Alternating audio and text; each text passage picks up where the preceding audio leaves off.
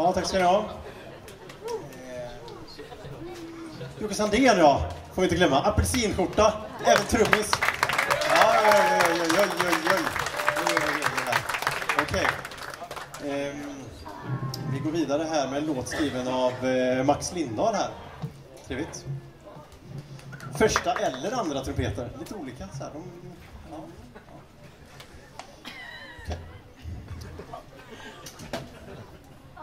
ça